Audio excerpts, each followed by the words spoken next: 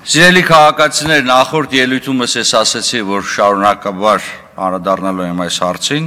այնքան ինչքան անհրաժեշտ լինի, եւ ազգային ժողովի երեկվա հայտարարության անդրադառնալիս պետք է նշեմ հետեւյալը. համար 1 բառը, որ օգտագործվել է եւ կարեւոր է այդ փաստաթղթում, դա ագրեսիա բառն է։ Ագրեսիան, ուզում եմ հստակ բոլորը իմանան,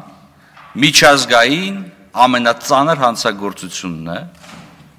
որ անվանում են նաև հանցագործություն խաղաղության դեմ, եւ այս արարքը նախատեսում է շատ դուրս պատասխանատվություն եւ այն սուբյեկտների նկատմամբ, որ ովքեր սանձազերծել են եւ այն պետության նկատմամբ, ով դիմել է այս քայլի։ Ընդ որում պետք է նշել, որ այս արարքը պատժելի է թե միջազգային սովորթային իրավունքով, թե ներպետական իրավունքով եւ պետք է շատ հստակ նշել եւ ասել, որ ագրեսիան պատժելի արարքի համարվում նաև Ադրբեջանի քրեական օրենսգրքով։ Ադրբեջանի ռազմաքաղաքական ղեկավարությունը սա պետք է շատ հստակ իմանա։ Ոչ ոք ագրեսիայից պաշտպանված չէ եւ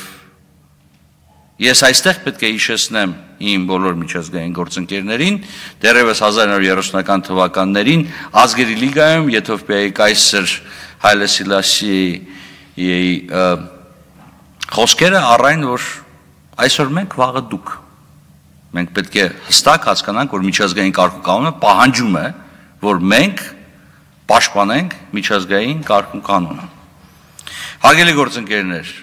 Եվրոպայի խորհրդի խորհրդարանական վեաժողովի հետ մեր աշխատանքները շարունակվում են։ Մենք առաջիկայում առաջիկա նստաշրջանի ընթացքում նախատեսում ենք այս հարցը քննարկել հրատապ օրակարգի շրջանակներում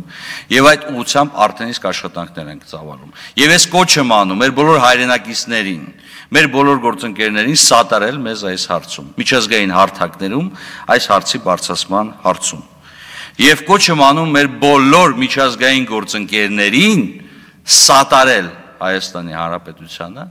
նաև այն հարցում, որ մենք կարողանանք հստակ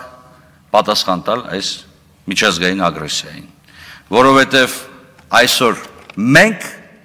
վաղը դուք եւ սա շատ հստակ պետք է իմանաք Հարգելի գործընկերներ,